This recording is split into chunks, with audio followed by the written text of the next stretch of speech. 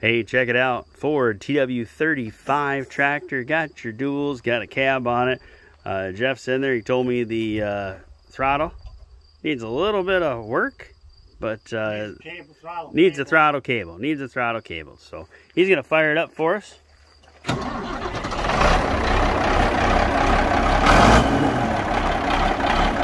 Sure, we like to do a video of everything running that will run. You can kind of, you know, you can hear it,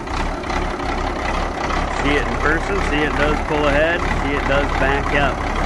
Uh, Jeff Felderman is inside that cab, telling us what uh, everything we need to know about these tractors. Most of these uh, were his brother Jim that passed away. Uh, that's what we're doing here. We're selling them online only auction by Doland, South Dakota. So thanks for looking. Good luck bidding. Uh, watch for a preview. You come take a look at them in person. Otherwise, come pick them up after the sale. Thank you.